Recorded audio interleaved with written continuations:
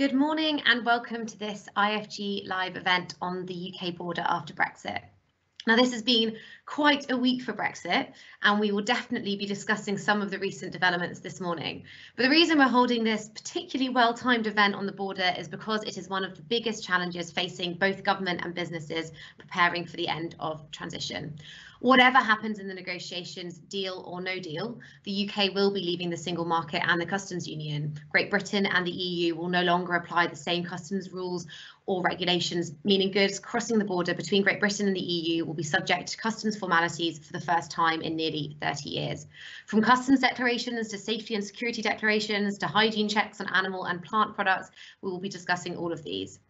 The changes are somewhat different in Northern Ireland. The Northern Ireland Protocol agreed as part of the withdrawal agreement at the end of last year was designed to remove the need for border controls on the island of Ireland and in doing so sets out new rules for goods moving from Great Britain into Northern Ireland.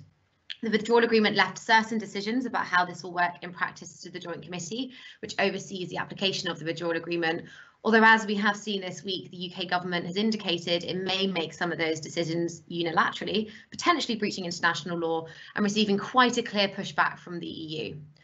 But anyway, preparing for these changes, whatever happens at both the GB EU and GB Northern Ireland border involves a huge amount of work for the government, as well as for those who are trading across them.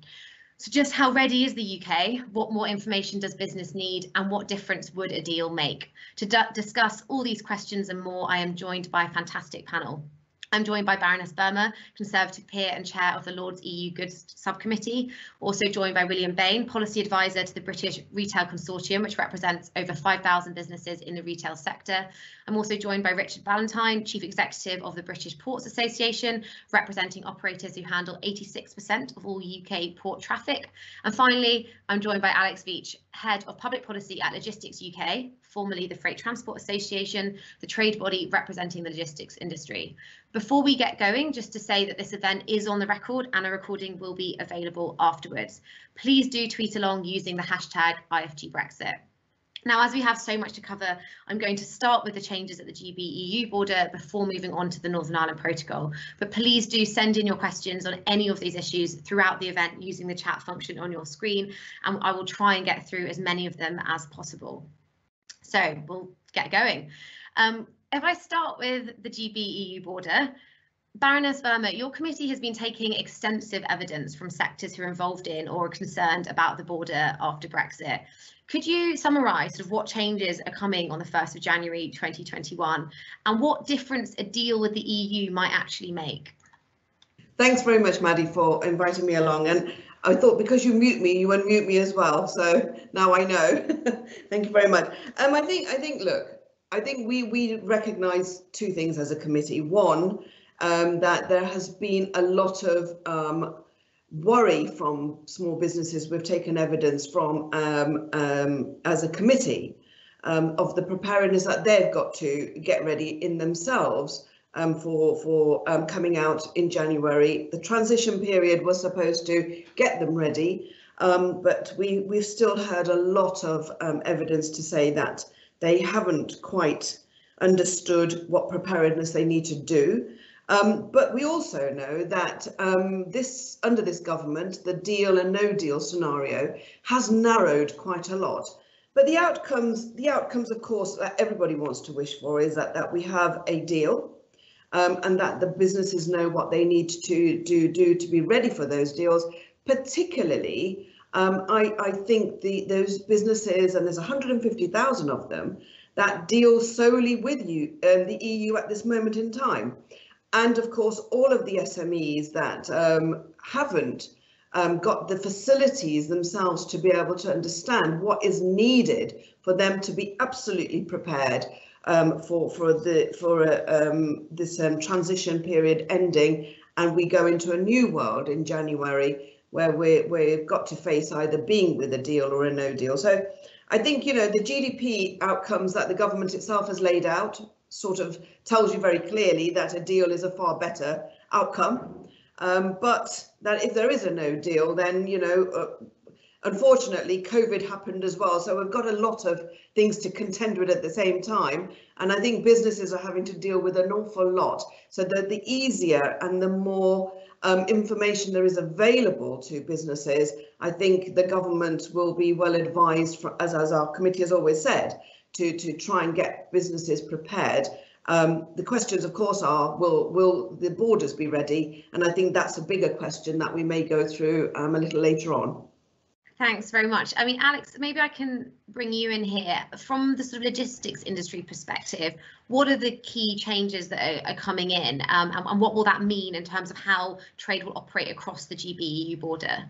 Okay, thanks, and uh, good morning, everybody. So uh, for the logistics sector, which um, I can be quite general here, we can include uh, ports, and I know Richard uh, Ballantyne will want to come in on this um, in more detail, um, hauliers, um, air operators, airports, rail operators, um, you know, and the businesses they serve and intermediaries that kind of flow the data between the, the freight customers and the, and the move, movers of freight. So, you know, there is an awful lot to do. We're focusing with our members who are primarily people who move other people's goods around to adapt to a number of different um, new and um, kind of bespoke systems that they'll need to use from January. So the focus and I suppose the concern is on exports to the EU from um, GB, using my terminology carefully here, GB. um, and um, because as everyone will probably be well aware, um, the UK has uh, decided to take a very pragmatic approach and have what they call the government calls a staged approach to imports. So for the first six months of next year, there'll be far fewer border checks than there would otherwise be. Um, but our friends in the EU have said, right, no, you're, you're, you're in the deep end straight away. 1st of Jan, full um, rest of world trade procedures um, will apply. So the worry is if um, the uh, business community in totality, so that's retailers, manufacturers, you know, Williams members um, and, and, and others, small SMEs, um, don't provide our members with the right paperwork and our members don't use the systems right, then you're going to have problems. And so we're focusing uh, most of our time now on helping our members understand the uh, UK rules declarations and also importantly helping them understand the uh, the, for, the, the, the EU member states procedures for import controls and we're focusing on four countries um, France, Republic of Ireland, Netherlands and Belgium, which are by far the four biggest countries for roll and roll off um, ferries and hauliers. And that's a huge proportion of our EU trade is done by, that, by those means. So each of those four countries is, will have a slightly different system that hauliers uh, and others will have to use, um, in addition to the UK systems for export control. And of course, you know, the ports and the ferry community have got to get to grips with all this as well because they're the go-betweens between everybody else. And um, the forwarders and the customs agents have to know all that stuff too because they'll be guiding the the businesses at the back end about how to do it. And finally every single business in this country that that sells goods to any other business or consumer in the European Union has to be ready to to make to provide the data to make an export declaration from the 1st of January and and if they're not we're going to have problems because um, it, it will only take a few trucks to have the wrong paperwork, for them to be hoinked off to an off-site inspection place, perhaps not even allowed to get to Kent uh, before they even go. So, you know, we're doing our best to work with our members to help them get ready as best as we can. Where, you know, we're increasingly nervous is um, how far have the much wider, bigger set of businesses who are actually the importers or the exporters, the retailers, the manufacturers, the traders and all this, how ready are they? And that's not data that we see. We don't have any clear metrics on that ourselves. I'd love to hear from others on the panel on that, because if that if they're not ready, nobody's ready.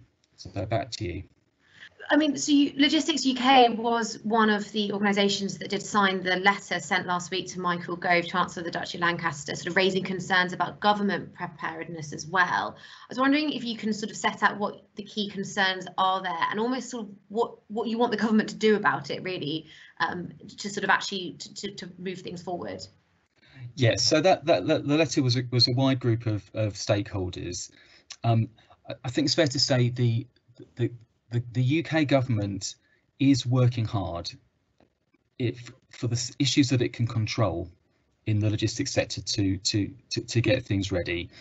Um, there, I won't go into the detail now, but there are um, four IT systems under the UK government control that our members will have to learn to to use, to know and love. Um, three of them are going okay, two are ready to use, uh, one's almost ready to use, but it will be phased in. Uh, one of them is behind, and that's the system called Smart Freight, which is um, actually a traffic management control system, um, primarily aimed at reducing uh, traffic jams on the M20 and the M2 in Kent. And so uh, our main issue with that, and the reason we, we wanted to jump on that letter was to say, look, you know, we've been saying this privately for some time. We need this smart freight system to be publicly tested much quicker than you're intending to. So we want to pull that forward. I think others um, in the wider logistics community have have concerns um, related to the uptake of uh, training grants for customs agents. Um, we share a concern um, or at least an aspiration that there would be uh, enough customs agents to go around. And that's really really important. So we're looking to see how you know from the government how the uptake has been on that scheme. But we can't deny that the government's been pretty generous in its funding to that sector as well. And so I think you know it, it, it is a, a, mixed picture um, the government is doing a lot um, and I think we're we're in a space of in that trying to get in that critical friend space. We're saying actually doing a lot of really good stuff. A lot of the IT is going fine, but this smart freight thing, you just need to get a wiggle on. Need to hurry up with that one. And actually, I think we, we're seeing now that, that things are are progressing on, on that side. So it's slightly possibly possibly a slightly more positive picture then. Um, as you've you've mentioned Alex about ports um, and that you know that's obviously one of the key parts of this ginormous readiness picture. Um, Richard, uh, if I can bring you in now, I mean you know you represent I think it's 86% of of operators around um, ports in the UK. I mean, how confident are you that ports have the right information and also enough time to get everything in place that they need to? Um, and again, focusing particularly on GB-EU trade for this question. Yes, thank you, Maddy, and good morning, everybody. I am experiencing the dreaded Wi-Fi uh, uh, warning, so if something happens, please do move on, but uh, I'll try as best I can. I think uh, Alex has summarised some of the points very well. Uh, particularly if we go back to basics, uh, what we're going to have is full customs controls and other controls that you mentioned, Maddy. And that for content, conventional um, port traffic is usually fairly manageable. You know, we have um, experience of handling third country traffic uh, and customs processes and other border information that's submitted to the relevant authority in the UK.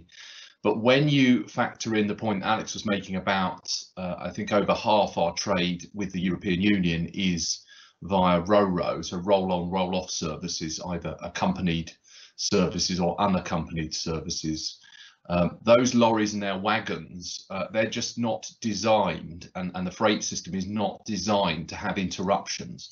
So if you introduce a new stop at a port for a customs clearance process or some other kind of inspection or approval, you automatically um, run the risk of having congestion and delays. Now, you could say so what, but that means uh, not only is there a lot of congestion potentially around particular ports and routes, but you also add in costs to logistics operators, to Alex's members, to others who want to get their goods as quickly as possible. And it makes us less competitive and less efficient. So the port sector and the freight industry has been used to, um, you know, particularly with the EU borders at least, has been used to uh, no real stoppages other for th otherwise for things like immigration controls and and a few other things. So this is quite a big cultural change and, and a big expectation which we're being asked to prepare for. And I probably it's probably fair to say, although we've had four years since the referendum, I hear many people say, we haven't actually known what the arrangements would be, what the requirements will be. Now we have had some clarity with the last year's election results, and of course, uh, various announcements this year with the government, which have been partly interrupted by the coronavirus pandemic. But now we've got some a clear steer from government, and, and I have to commend the HMRC and the Border Plan, Real Border Protocol and Delivery Group the amount of um, effort now they are placing on this. But I would still say it's the clock is ticking and there'll be tight timescales. Now, for, for my sector, what this means is we'll have to have new infrastructure to facilitate these customs and other border controls, either at the port, at the frontier, or on routes to or from the port. Uh, and as Alex says, there's sort of two dynamics here. One is the import control, the other is, is preparing for export arrangements. In terms of imports, ports have a lot more to do with that, of course, because the goods uh, arriving are typically cleared on, at, or around the port. So uh, we're just now starting to work with government to see what the requirements for infrastructure is. Uh, and indeed, there was some rather technical uh, legislation passed last, last week, which would give automatic planning permission uh, for border control facilities, which we really welcome. And we're just trying to work out whether that um, will be broadened out into ports or whether it just be used for hinterland areas, and also whether we'll have similar um, um, legislation in other parts of the UK, because that was just England. Uh, but we'll come on to Northern Ireland later. Uh, I would say the ports are as prepared as you would expect, and there's been a huge amount of effort. But some of this infrastructure, you know, there's lots of lots of routes. It's not just the the Kent corridor, of course, lots of routes, and there's, there's lots to do. Uh, and I would say that you know there's a good chance that some of this infrastructure will definitely not be ready, uh, and we do need some further pragmatic considerations about what we do so that Alex's members and others are not held up in queues, uh, delays, etc., or rerouted to certain routes. But I think it's it's one of these things where we're not used to as a freight and ports and shipping sector. We're not used to governments and policymakers really getting involved uh, in our activities. And obviously, you could say this is a, a, big democratic exercise. Absolutely, those those arguments. I'm not political today, so those arguments are probably elsewhere. But there is a bit of consequence of this when government gets involved in things that it wouldn't naturally get involved in. And without sort of uh, getting too um, heated with with Alex, because we're good friends and good colleagues, I have to say some of the um, IT specifications that the government are introducing, we're broadly in favour of. Now that there's lots to do there, but these IT systems, I think, if they were more fragmented and separated, I think with with private providers we might um, struggle somewhat. Although there is always that sort of big question mark with the government IT project: will it be finished and will it be complete on time? Completed on time?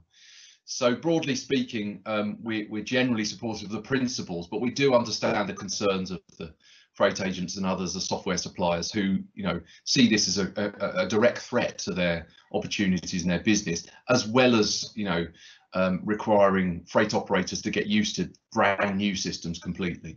So a, a, bit more positive uh, sort of uh, on, on the government preparedness side, which I'm sure officials, if any officials are watching, they'll be relieved to hear. I'm just on on the import controls and of the infrastructure that might be needed there. The government, Alex has already mentioned the fact the government is planning on phasing in checks over the next six months for imports. I think there are a few, they're going to be on very specific goods. There will be checks on day one, but most checks, there'll be some coming in, I think, next April, and then some sort of full panoply of checks next July. I mean, does that, is that welcome? I mean, does that help your members, uh, Richard, in terms of of preparing for for the the changes at the border? Yes, absolutely. I mean, um, I think it's I think it's vital. And as Alex rightly said, I mean, the real challenge um, in the short term, at least, is going to be for import, uh, for export, sorry. And um, ferries and ro-ro routes are on back and forth movements with ships going back and forth, back and forth, etc. With the with the busiest routes on, on shorter timescales. So there is a real danger that if there are issues at the other end, say in France or Belgium or the Netherlands or the Republic of Ireland, even there could be, uh, you know, queues and tailbacks for the loading of those ferries, which would have an implication for the inbound traffic into the UK. So yes, whilst you sound positive, I'm sort of uh, you know cautiously optimistic, but yeah, there's still a lot to do and a long way to go. And if I can just put a sort of a, a quote from, um, I think another sort of a, uh, another industry group that I'm sure you work closely with, um, Richard Burnett, the Road Haulage Association, told the Commons Future Relationship Committee, I think on Wednesday, that he thought there'd be an 80% chance of disruption in Kent um, at the end of the year. I mean, do you agree with his assessment? Do you think that's that's fair? Are you a bit more positive? Um, I know I'm slightly putting you on the spot there, but wondered what, what your view is in terms of the disruption in Kent, if, if you know, based on the current timelines we're looking at and preparedness? I think if we're talking about a very sudden, you know, change in operation, then you know there could be disruption. But uh, with a bit of pragmatism and a bit of flexibility, I, I think that's you know Richard's another good friend of mine, so I don't want to kind of disagree with him. But I would say it's important to factor in and, and not just concentrate on one particular area. We have about 20 ro-ro ports uh, up and down the country. Um, with links to the EU. and they all have the same challenges. Yes, the Kent corridor has a sort of higher stakes because it has more traffic volumes, but we have to deal with the same challenges elsewhere and you know maybe scale down slightly but they all these technical things as well as um, customs and uh, health controls you mentioned we've also got safety and security declarations for for traffic which is a which is another uh, difficult challenge for, for the industry to overcome. One point I didn't mention earlier, you, uh, just to come back on your original question about the deal versus the uh, no deal, um, I'd be quite quite frank here, I don't think a no deal looks terribly different to my sector than a deal. The the deal as it is is already a in, in old money a very hard Brexit where we have full customs and uh, and health controls and leaving the customs union single market. Uh, and you know nothing's going to change that. We still have that operational challenge. Now the, the, the big difference, I guess, will be on tariffs.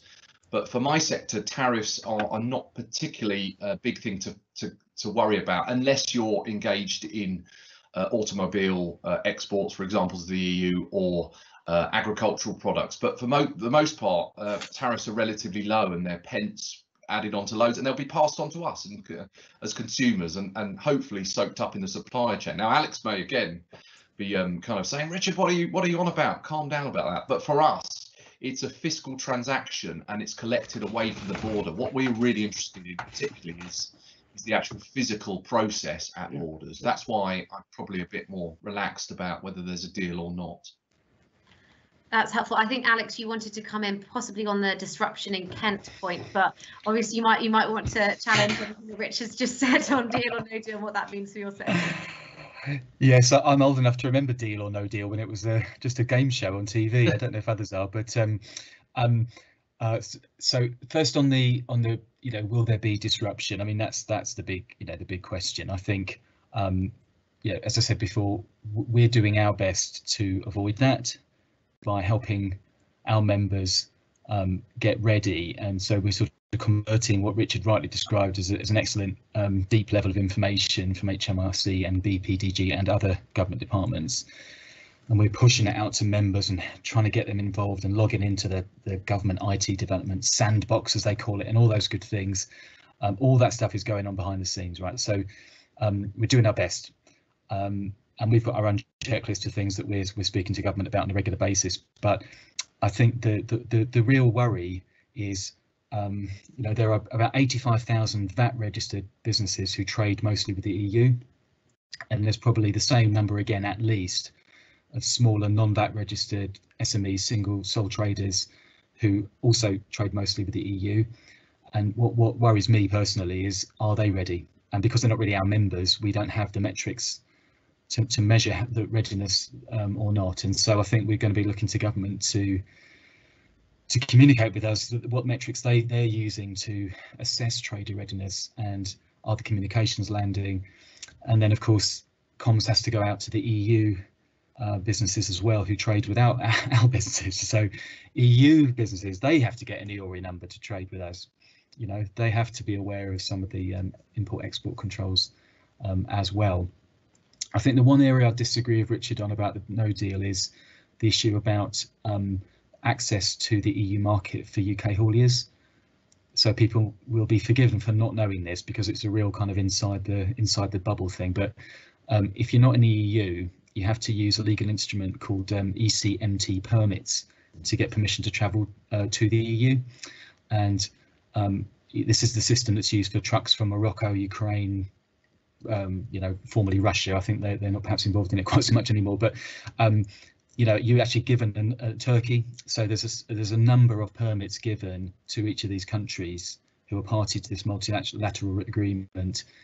Um, and there are only so many permits to go around. And the worst case is, and now we, have looked at this, and the, the, the, the, worst case is we're looking at only about one in four UK hauliers being actually allowed to travel to the EU in a given year. And so that does put pressure on um, supply. Um, and that, that's something we, we are we are really worried about in terms of a no deal and something that would need to be negotiated um, specially to, to resolve. that's really helpful. And so adding another another area of concern to our list in a no deal scenario. Um, so William, I'm sorry, I haven't brought you in before now, but there are definitely lots of questions I have for you as well.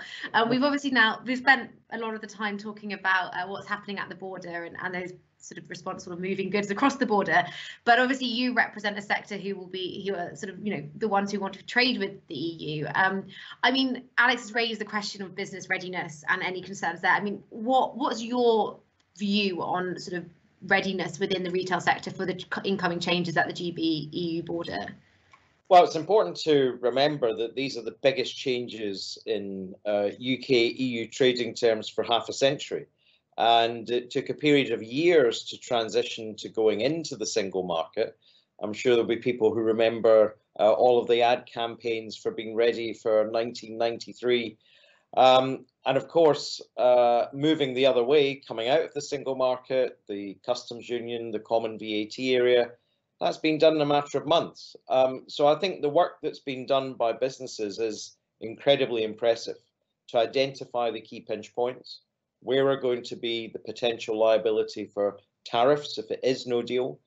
And I would say for retail, tariffs is going to hit consumers very, very sharply in the pocket you know, we are talking about billions of extra costs that would be passed on to consumers if we don't get a trade deal by the end of this year. But also in terms of the non-tariff barrier costs, which are entirely new. Um, so business in terms of inbound customs declarations is having to face deadweight costs of seven and a half billion pounds per year, every year, um, as a result of these new processes. Everything is hanging on some new IT systems which are as yet untested. So we don't know how GVMS is going to work. Um, is it going to lead to uh, a, a, big reduction in flow through the short straits crossings? Um, and that really is the, the, you know, the arteries by which fresh produce and medicines reach Great Britain. And for our industry and for the expectations that consumers have of being able to buy the widest possible range of fresh produce in the best possible condition and quality. We are concerned um, that reduced flow through these ports is going to affect both choice and availability for consumers, as well as the unavoidable problems we're going to have in terms of price and to keep those uh, to keep those those low. We've been working with the government through some technical working groups. We've set them up uh, in conjunction with government to cover VAT, customs, Great Britain and Northern Ireland. Um, electrical and industrial products, chemicals, uh, pharmaceuticals, uh, and also clothing and textiles to come. And that's been a useful way for companies to get the answers. But I think there are still some problems that, that remain. You know, when are we going to get the 10 code reference numbers for commodity codes, uh, which will have to be inserted into companies' um, IT systems? Um, are there going to be enough customs agents that we can, uh, through our intermediaries, be able to get in time? Um, are people aware of the huge changes in VAT that are coming? Uh, you know, import VAT for the first time in 50 years. So there's a huge amount that's being done. You know, I absolutely salute our members for what they're doing. Um, we are getting good feedback uh, from uh, government officials, but it's the scale of what's having to be done in so short a time that is the biggest problem, even with the easements that the UK government have introduced. And if I bring in a question um, that we've got on the Q&A um, from Dr. Evenden Kenyon, the question is, is, is priority being given to just-in-time goods? I mean, I guess just more broadly, what are the, the key goods that the government is prioritising? And, and, are there plans for making sure, for example, food and medicine will get into the country, whatever happens at the ports, if, if things start getting jammed up there? Well, I think the government are saying that, um, you know, things like medicine would be a priority. Um, but of course, we've yet to work out what's happening in terms of the land bridge. I mean, this is all tied up now with the protocol. Uh, and of course, there are indications that trucks from the Republic of Ireland would quite like to have priority because, uh, you know, they're uh, just transiting through Great Britain. Um, and so all of that would have to be worked out in terms of how that would operate at Dover and Folkestone too. So the, the, there are considerable problems there that still have to be sorted in a very short time. Could I just ask you just very briefly about um, the government's plans on communicating all of this with business? So they published their border operating model, um, I think it was back in July, um, where sort of there, I mean, there are still some gaps in, in what they've set out. Um, they've sort of also launched this sort of broader public campaign, Check, Change, Go, which I think I've I've been relatively disparaging about, to be honest. I mean, what what are their plans for actually trying to make sure businesses are aware of these changes, and do you have confidence that those plans will actually work? I mean, they've talked about shock and awe comms campaign. Do you have any indication of what that will be, and and do you have confidence that businesses will be able to understand of what what changes they need to be preparing for? I think we have indications that um, there are going to be new comms uh, campaigns launched soon.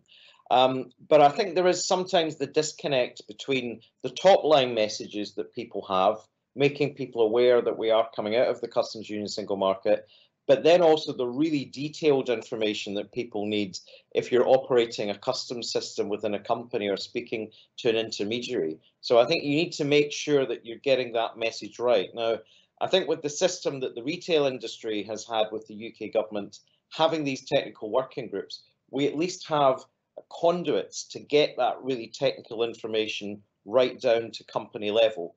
But there are still a vast array of questions that the government's got to answer and we have less than four months to go until some of these processes come online. And in particular, I think there are concerns about some of the IT systems and um, how they will operate for companies on the ground. Baroness Verma, I think you wanted to come in on this point.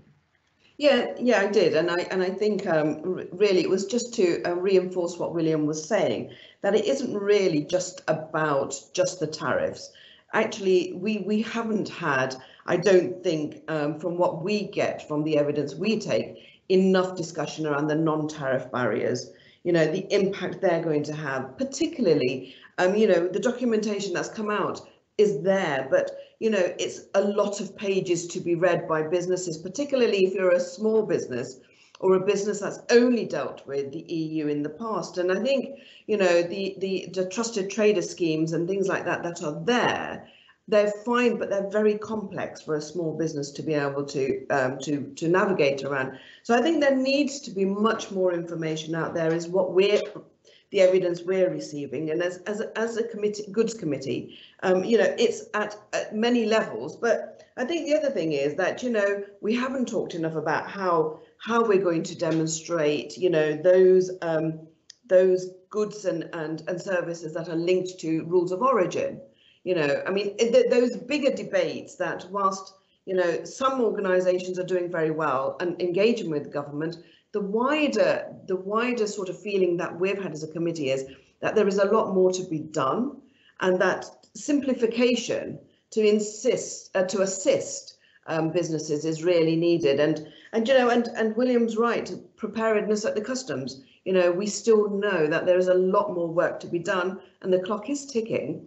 Um, so it will be useful to know, you know, what the government's plans are to be able to ensure that, you know, those sort of um, uh, testings on IT structures, um, uh, uh, you know, have actually um, been tested out enough so that suddenly we don't have those blockages at the customs. So that was just, it was just to add value to what um, William was saying. Also, just just wondering, um, Baroness Verma, you know, what has what has the government's response been to the, the evidence your committee has gathered and, and sort of the reports um, or letters that you've sent? I mean, has there been good engagement and do you feel reassured that the government sort of has it all under control or, or are there concerns from your perspective about what government is doing? No, I think I think um, generally um, what we find is from the reports that um, the government is minded to um, take take note of, of the issues that we raise, um, hence why a lot of the um, sort of extra um, things around customs and, and those concerns are, are being looked at. But, but you know, we all know that um, until we are in a place where we know there's a deal, you know, things are always a moving feast. And I think that's that's the difficulty for for most people, um, be it a trader or or or as as um, as these trade organisations represent, or those people who have got to see the transit of goods coming in or going out. So I think I think there is a lot of discussions going on, and and we we are always grateful when um, the government um, does give us a full response. Um, but we are also mindful when they don't, and we then go back and ask more questions. That's the role of the committee, and um, and that's the role for us. We think to to hold um, what is being prepared for our country to, to be accounted for. Great. I'm going to ask another question from the Q and A, and this is a sort of question, I guess, to the to the whole panel and anyone who who may be able to answer this or shed light. Please feel free to jump in. So Jamie Brown has asked. Um, he said that you know during COVID, the EU borders allowed priority lanes for food supply chain to ease congestion. And does anyone know whether this is being considered as part of the Brexit border strategy? Um, I don't know if anyone has any um, knowledge. I don't know, Richard, whether that's something that's being discussed at the ports um, or William, whether you'd know from a sort of retail perspective point. I think um, I think there's been kind of exploration and looking at this, but COVID, although it's really huge sort of sort of event, COVID is the is the different kind of um, issue because there we're talking about a kind of massive slowdown in demand and actually you know kind of goods not being held not being uh, being able to be facilitated because uh, for example, shipping companies couldn't justify um, having journeys to and from other countries. So that that was that. You know, it's not necessarily a problem about it's securing that supply. It's not making sure it can get through queues. Whereas um, Brexit sort of blockages at borders or you know delays and congestion is is a slightly different kind of arrangement. I think it's been looked at, but it's very difficult to kind of you know sort of guarantee um, uh, certain routes or certain freight the government has um, its uh, uh, preferred carrier scheme, which is uh, which is essentially a kind of procurement scheme with a number of shipping companies, where it can go in at short notice and buy freight capacity on board ferries, for example. Um, and, it's got about sort of seven or eight ferry companies in the Eurotunnel on that. So if they needed to, they've got a kind of mechanism there. But I come back to the point I made earlier. You know, you still have to go through a lot of these controls and processes. It's not just about Kent, although that's very important to the country. Uh, and you still have to undertake these things. Now, one point I would come back and, and, and concede to Alex about his point on hauliers is absolutely right. You know, those permits essential and I wouldn't uh, wish to undermine that particularly. But I think where I was coming from is highlighting that the non-tariff barriers, I think, um, as others have said, haven't perhaps been given quite the, the, the, focus or attention that tariffs have. And even I would go further and say, you know, without sort of, um, we want to see future trade deals with other countries as well. Of course, we want to increase our trade with the, the rest of the world. But I think we've got to be realistic there. You know, future trade deals with America and others, we're not we're not going to move our geographical location and proximity to European Union and, and continental Europe. The reason we trade so much with them is partly due to things like um, customs easements and other things, but it's probably more to do with sheer proximity and the makeup of our economy, which is an import-driven economy. So um, that that's that's where I'm coming from there. That's great. Does anyone else have any views on whether sort of the plans around the borders from COVID might be able to be used to try and ease um, what's happening with Brexit? If not, I can move on. Or Alex, were you going to? No, okay. Should we? We I realise we've only got 20 minutes or so, and we haven't got onto one of the big issues, which is the Northern Ireland Protocol, and as I say, very much back in the news this week. Um, so yeah, I mean, obviously, it's become uh, it's the focus of a lot of the debate around the UK internal market bill. Um, but if we don't jump straight onto the legislation just yet. Um, there, there's obviously quite a lot of political questions around quite what the government is planning there. But I, I think it'd be quite helpful um, to sort of set out what the protocol actually just means for trade between Great Britain and Northern Ireland. Um, William, I wondered if I can come to you because we know that a lot of retailers do trade across that border. It's quite important there. So what does the Northern Ireland Protocol mean for them? Just sort of relatively straightforwardly. Yeah, I mean, effectively, what the protocol does is apply EU rules to trading goods in Northern Ireland. So it means that uh, all products, whether food or non-food, um, are traded uh, and manufactured in compliance with EU rules, which is, of course, what's going to be applied in the Republic of Ireland as well. So that means you've no regulatory border across the island of Ireland for goods. Uh, the protocol doesn't apply to services, of course. Um, but of course, um, the original iteration of the of the protocol uh, had a, a UK-wide customs union, the, the so-called backstop, uh, which meant there would be no customs border whatsoever between GB and Northern Ireland. The revised protocol, of course, whilst it keeps Northern Ireland within the UK's customs territory, effectively does have a customs border down the Irish Sea. And so customs declarations have to be made, safety and security declarations have to be made. There's also a regulatory border for food products. So uh, unless we get uh, the deal that we're looking for as an industry uh, from the Commission and the UK government, uh, there would be very costly export health certificates, uh, which would be required as well. And particularly for, for retail, this is, this is system critical. The kinds of costs we're talking about um, in terms of these bureaucratic processes would make the difference between being able to supply the Northern Ireland market as now and for that becoming unviable. Uh, so it is absolutely vital for the retail industry and also for the Northern Ireland consumer that we have this. So the kinds of uh, developments that we've had in the last couple of days, whilst they're certainly not fatal to us getting that type of agreement, it certainly creates a context in which it's more difficult for us to get that agreement. And I think it's the it's the interest of the Northern Ireland consumer, uh, which has the lowest discretionary spend in the UK, uh, would be the, the hardest hit uh, by uh, lack of availability of product and by new tariffs. Uh, that have got to be considered here by everyone uh, in this debate. When you're talking about agreement with the EU, you mean sort of over the future relationship, because there are still some sort of questions about process to be ironed out in the joint committee as well. I mean, how concerned are you that some of those decisions won't be made? I think there's sort of a, I mean, again, there's discussion about whether that, that those conversations have broken down and that's why the government's had to or wants to introduce legislation to be able to take decisions unilaterally. But I think there is some discussion about trying to ensure uh, sort of ease of access from Great Britain to Northern Ireland, particularly for supermarkets. Um, I mean, how how concerned are you about those decisions being reached within the joint committee just about that functioning side of it? Well, we, we need to have trust and cordial relations in order to get the kind of agreements that, that we're looking for that ultimately is about meaning that the people of Northern Ireland can get the range of food products that they know and expect at a price uh, that can be delivered to them as well. Um, so we are concerned that um, these developments do put at risk these very delicate discussions, but uh, we think the issue is robust enough uh, and the people of Northern Ireland are um, I think, at the forefront of what both sides will do in that joint committee. But yes, the joint committee has to look at which goods are at risk of going into the single market. Uh, and that has to be a joint decision. It's not something which one side is allowed to do unilaterally. Uh, so the EU and the UK must decide that.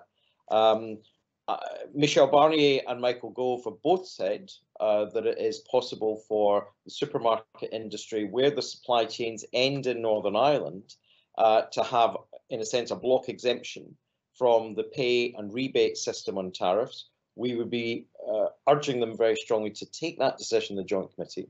But you've also got the specialised committee, which effectively implements the rest of the protocol and has to look at these issues like compliance costs from export health certificates, which can cost up to £200 for a single certificate and require to be signed by a vet. And some of the supply of goods that we're talking about here, you know, from supermarkets, lorries going from Scotland over to Northern Ireland, we're talking about four hours potentially uh, between the lorry being made up and the goods going over. And it's very hard to get a lot of this paperwork done in that time scale. And that's why we're looking for some easements from both sides.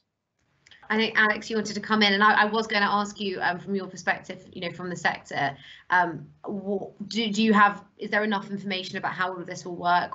What are your big concerns, I guess, in terms of in terms of the functioning of this? And as I say, feel free to come back on on anything that William also mentioned. Oh, thanks, Maddy. I, I, I was actually hoping to piggyback on what, what William said and, and add our shoulder to the wheel because you know there are some policy interventions in this area that would be really handy right now. So we're asking through Cabinet Office um, to allow uh, businesses where, who are moving goods from uh, perhaps a distribution centre in GB to a shop in NI in their perhaps in their own vehicle um, to be um, to have a kind of trusted trader approach where they wouldn't be exempt from all this paperwork but perhaps a lighter touch or fewer bureaucratic requirements could be placed upon them because it seems slightly odd to um, you know add as, as William rightly says all these cu customs declarations and, and, other requirements if you're moving your own goods from here to there and then selling them to people in Northern Ireland.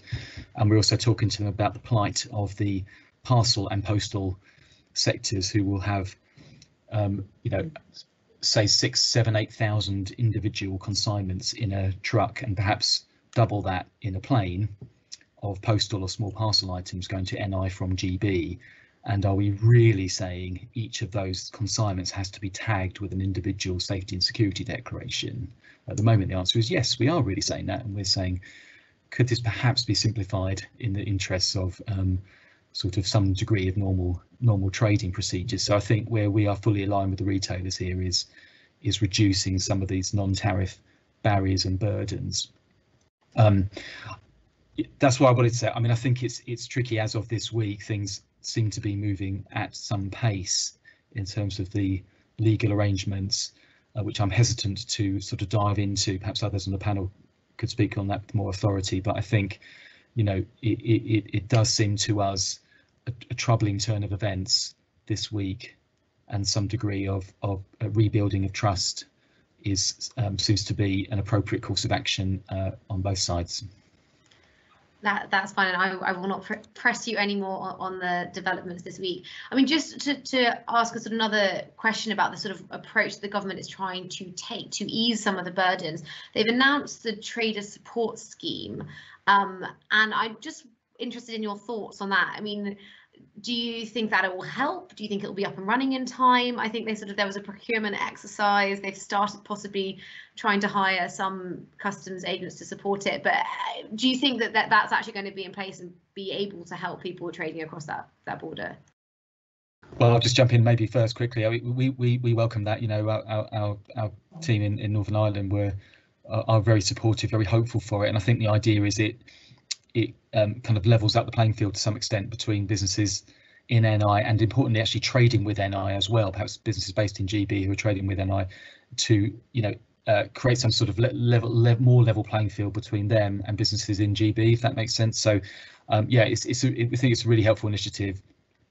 You know, and I think now the proof is in the pudding, isn't it? They just uh, they just announced the winner of the of the bid uh, consortium that's going to run that, and um, you know they they need they've got a lot to do but it does give NI businesses, and as I say, GB businesses trading with NI, it does give them very clear points of contact that's funded and should, the idea of it is that it helps them, handholds, helps them through all these kind of non-tariff barriers that um, William and Richard um, and Baroness have pointed out are are coming along quickly. So I think it's it, it is a good thing to do, and let's let's just hope they crack on and get it running uh, now. Yeah, definitely. Okay, well, Richard, i will bring you in in now too. Um, so on the ports angle because I think you do have members in Northern Ireland and across the UK. Um, so obviously who are also going to be um, needing to deal with some of the um, new checks that will be in place for goods crossing between Great Britain and Northern Ireland. So the government has acknowledged that there will be expanded infrastructure for some of those checks.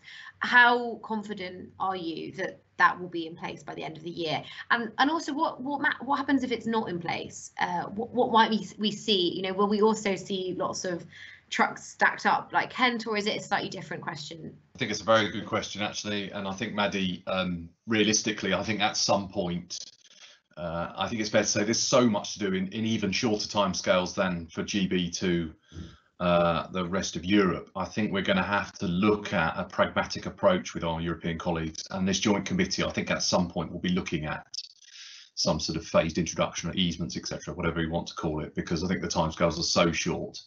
Um, and, and also it's worth remembering that Northern Ireland and Ireland for uh, from any of the uh, for William and Alex's members, I, I would imagine they see uh, the Republic of Ireland or the island of Ireland uh, and GB as kind of one sort of general kind of freight market uh, of which uh, we're not subject to things like immigration controls even. So lorry drivers don't need to stop for passport checks as they would for goods going from GB to um, uh, Europe, the rest of Europe. So it is quite a, you know, disproportionately, it's quite a dramatic change to have any processes there.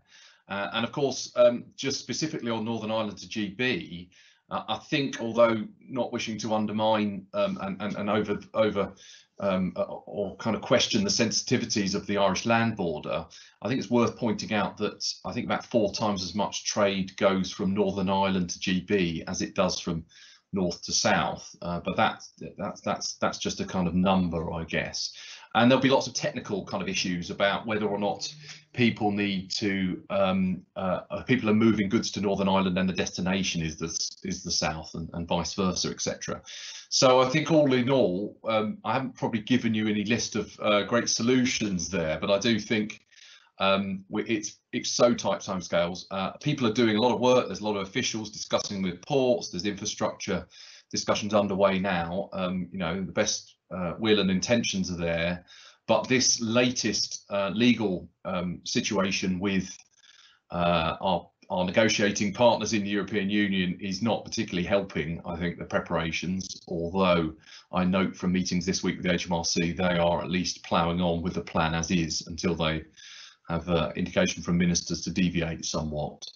So uh, we're, we're doing as much as we can there. And on the specifically on the TSSS, or sorry, the TSS, um, I think I agree with Alex. We we welcome the fact this there will be additional um, additional contacts uh, uh, costs, sorry, for uh, traders travelling on, a, on effectively a domestic route. So we see this as a good, sensible solution to uh, to some of those costs. But it's it's untested, short term scales, and also another legal challenge may be coming from some of the freight agents, the customs agents, etc., who provide similar services in in normal circumstances themselves, which um, you know sympathise with them is effectively undermining their business. Mm. Uh, but you know, it's there's many many questions, probably more than there are answers. So I expect if we have this conference in November December, I expect we'll still be talking about many of these issues. That's that's interesting, and I, I might bring in Baroness Verma here. I mean, you were talking a bit about well the sort of lack of information for traders around GB EU border. And I appreciate that your subcommittee hasn't done quite as much work on Northern Ireland Protocol, but from the sort of uh, parent Lords EU committee that has, I think, done some work. I mean, you, are you seeing the same issues? You know, in terms of like the government not be, not sharing enough information and not in not enough detail, or or do you think it's it's a different different question in Northern Ireland? No, I think I, I think if I come back to it, it's not that there's not enough information. I think there is information. I just think the level of information to be able to be um, disseminated down to everybody to be able to understand and then prepare has been the difficulty. And I think as as um, the chair of the EU um, subcommittee for goods, I think that's been evident in what we've heard from businesses and trade organisations on the wider issue that, um, and as a member of the EU Select Committee in the House of Lords, I mean, we, we, we are now going to look at um, the, the recent events. I mean, you know, the, the bill has just been introduced. It'll go for a second reading next week. We'll see what impacts that has in, in the detailed legislation uh, Uh, of, of what is being proposed. But it is around two key areas, I think, and and you know, and I, I suspect both of them are extremely important to make sure that we don't have a negative impact on UK business number one, generally GB business number one, but also to be able to ensure that there are no there are no disadvantage or advantages either either side. So so you know from the little detail that I've seen, and I haven't actually read the bill yet. I, I you know I was proposing on reading it yesterday, but um, technology didn't work. But I think I think by and large it'll be one that, as as news items have already said, it will take a lot of scrutiny from both houses. Um, and I think that's a good thing. I, you know, I think legislation needs to be scrutinised properly. But you know, the exit summary declarations is one area of contention. We need to see what that looks like in in in reality, and state aid, of course, is the second. And again, what does it look like in reality? And I think if you know, ultimately, what we don't want to do is disadvantage our own businesses um, given that we are looking for autonomy now that we have left the EU. So, so I think there's a, there's a much wider, much more detailed discussion that's taking place that we won't have access to until we see the bill going through Parliament. Yeah, and I'll just say if, if anyone watching hasn't read the bill, the IFG has got a very handy explainer that we wrote on Wednesday on our website if you want to have a look at it. Um, wouldn't be an IFG event if we didn't plug some of our own work. Um, but no, I, I completely uh, take your point, Baroness Verma. I mean, I think that there is obviously a question about whether trying to pass the bill through the House of Commons in two weeks gives quite sufficient time for one one of the houses to scrutinise it. But I am sure that peers in the House of Lords will definitely be poring over it. So I think there will be some heated debates to come. I mean, on, on your point actually about sort of will it disadvantage our own businesses, there is a question from the Q&A, um, and I think maybe I'll ask you, William. Um, just a question about will the Northern Ireland Protocol mean that the Republic of Ireland will take over more of the retail supply to, to Northern Ireland consumers? I mean, is that a risk that the retailers um, in your your uh, business group, sorry, your industry group are concerned about? Um, is that something that's the conversation that you've been having? Well, we do have some uh, important members who uh, are prominently based in, in the Republic, and uh, they may they may wish to service uh, the Northern Ireland stores directly through through that route. Um, but uh, you have, in terms of uh, of another significant retailer within our membership, you know, the issue about sort of hundreds of trucks per week coming over from Scotland into Northern Ireland. So that is a hugely important artery uh, to deliver goods direct to the Northern Ireland consumer. And we have other members whose uh, supply chain uh, goes through Northern Ireland on the way down to the, the Republic. So these issues really are, are, are, mission critical. But um, I think the key point I would say is um, the extra compliance costs uh, from uh, just applying the protocol without some easements agreed by both sides do present a real material risk to the viability of being able to supply goods, particularly fresh produce for supermarkets uh, from that Scotland to Northern Ireland route. Mm-hmm. And, and it's really critical that uh, both the Commission and the UK government take the action that's necessary to sort this out by the 1st of January because although we talked about earlier, there are easements for GB to EU customs and other processes that can delay some of this stuff until July. The protocol comes in fully on the 1st of January. On, on those easements points, um, obviously you'll be talking to the UK government as well. I mean, have you uh, does it from your conversations do you feel like the eu will be willing to to talk about that again the events of this week i appreciate might undermine some of the goodwill necessary to to reach agreement around that but how confident are you that some of those easements might be agreed or are you concerned now well, there are concerns that the context that we're now in could damage those very delicate discussions. But I think fundamentally, uh, both the Commission and the UK government have the interests of the people of Northern Ireland at heart. And this is about making sure that we can continue to have the people of Northern Ireland fed with the full range of products that they want to buy at a cost that is going to be viable for both supermarkets and themselves as consumers. Given that Northern Ireland has the lowest discretionary spend of any part of the UK in terms of incomes. And I think it is the great people of Northern Ireland that could be the difference here to getting some arrangement and a deal over the line that will protect these uh, very fragile supply chains. I realise that we're, we're sort of coming to the end of the event, but I do have one last question, which possibly will be to Alex and Richard. I'm sort of interested, you know, the whole purpose of the Northern, Ireland Protocol is to avoid checks on the island of Ireland. Is there a chance or a risk that Northern Ireland sort of becomes the back door into Great Britain for EU goods if they can cross into Northern Ireland quite straightforwardly? Um, how is there any sense of the government thinking about how to manage that at all? And I say Alex or Richard. Well, I, I, suppose I can I can take one for the team here, Maddy. Um, great question. Uh, uh, funnily enough, I think the question more normally comes to us the other way around. So are the EU worried about the UK being a backdoor because we might conceivably lower our tariffs on some products?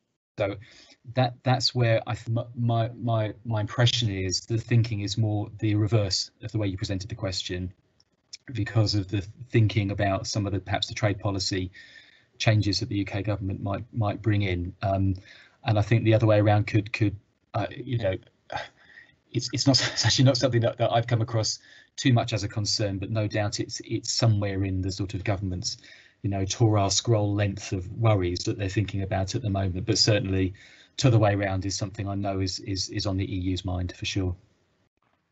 Very quickly, Maddy, I'll add. Um, I think Make UK, the Manufacturers Association, had uh, cited some concerns it has on that specific example. So I think it is, is a kind of a, a genuine feeling. Now, you know, I, I'm ambivalent to this really because I had members uh, who are interested in trade all over the UK and going both ways, etc. Um, but I think it's it's one of those things that Northern Ireland may be more attractive. Uh, for example, I've, I've come across food retailers who are looking at potentially getting the best of both worlds by having sites in Northern Ireland. So I think um, it's probably difficult to predict now, but let's wait and see. Okay, great. Well, it is now it is now 11, so I will wrap up um, now. Uh, I just want to say thank you very much to all of our panelists. It was a really fascinating discussion for me. We did get into quite a lot of the nitty gritty detail, um, but I think that it just shows how many different issues are come into play at the border. So there's clearly a lot for government to do and a lot for traders, businesses, hauliers, ports to get done over the next few months. Um, we also will be closely following the progress of the UK Internal Market Bill, what that means for negotiations and what that then may mean for the border. If you would like to listen back, the audio and video will be available shortly on our website, where more of these kinds of discussions are, are there as well. Um, and please do check out our IFG explainers on the GB-EU border, internal market bill, and much, much more. Thank you very much for tuning in, and please do join us again for more IFG live discussions.